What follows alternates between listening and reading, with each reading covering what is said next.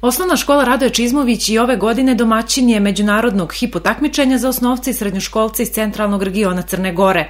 Za ovaj vid nadmetanja u znanju engleskog jezika kao i za vrijedne nagrade koje obezbjeđuje organizator Global Hipo Asocijacija prijavilo se 350 učenika, a cilj im je da izbore plasman u finale koje će biti organizovano u maju u Veneciji.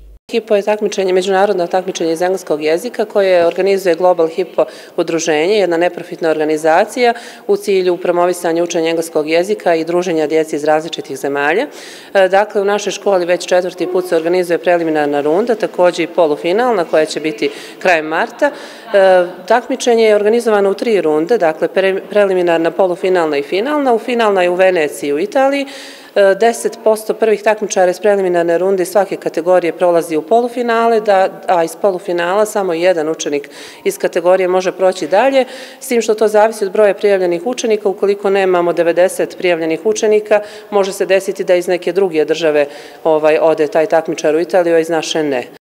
Zavisno od uzrasta, takmičari su podijeljeni u šest kategorija, od kojih dvije sa najvećim brojem prijavljenih kandidata imaju status nezavisne zone, što znači da postoji velika vjerovatnoća da se učesnik iz Nikšića plasira u finale, pojašnjava Milena Danilović, koordinatorka hipotakmičenja za centralni region Crne Gore. Imamo baš veliki broj takmičara. Prošle godine smo imali 190, ove godine 350 takmičara, dakle skoro duplo više i samim tim smo dobili dvije samostalne zone, to je za hipo 1 i hipo 3 kategoriju, gdje imamo u HIPO 1 kategoriji 129 učenika, u HIPO 3 97.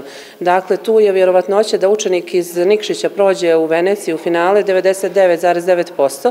Zašto govorim da nije 100%? Zato što e, u našoj državi postoje još dva grada u kojima se održava preliminarna runda i oni imaju većinom mali broj takmičara, tako da ih oni onda pripoje nama kad je zona u pitanju. Tako da eventualno može da se desi da neko ode iz tog nekog drugog grada iz Crne Gore, ali znači ne može se desiti da ne ode niko iz Crne Gore u finale. A koji su to gradovi u Crnoj Gori u kojima se ovo takmičenje organizuje osim Nikšića? Organizuje se u Ulcinju i u Beranama.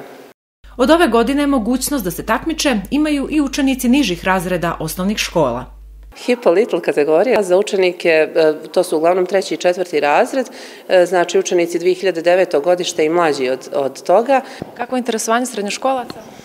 Pa srednjoškolaca nije baš toliko, više su ovaj, učenici iz osnovnih škola. E sad moguće da oni nisu toliko informisani, oni su sad u nekom svom ovaj, dobu, tinejdžerskom, možda prosto ne, ne znaju mnogo o tom takmičenju. Ja se nadam da ćemo sljedeće godine malo više proširiti takmičenje na srednje škole.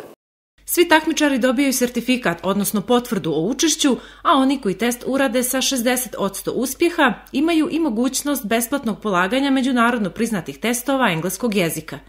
Posebne nagrade obezbijeđene su za pobjednike finala. Nagrade HIPO organizacija objavljuje tek pred finale. Jedina nagrada koja se već zna, to je nagrada za HIPO 5 kategoriju. Dakle, eh, onaj ko bi bio prvi u finalu u Veneciji u HIPO 5 kategoriji, eh, dobi bi kao nagradu dvije nedelje na Univerzitetu Missouri u Americi.